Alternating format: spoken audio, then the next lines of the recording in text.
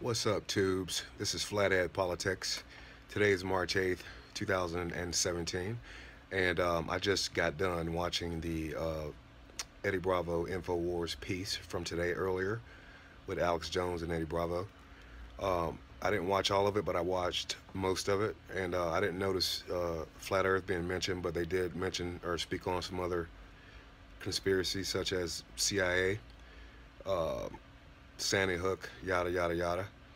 But one thing I did learn was that that podcast with uh, Joe Rogan and uh, Alex Jones and Eddie Bravo was apparently the most watched podcast in the history of podcasts. I guess today it has about 40 million plus views and counting. So, but yeah, shout out to to Eddie, He did a great job, and uh, and uh, they did speak about Eddie potentially coming back once a month to uh, Infowars to speak on uh, various conspiracies. So we'll see how that works out.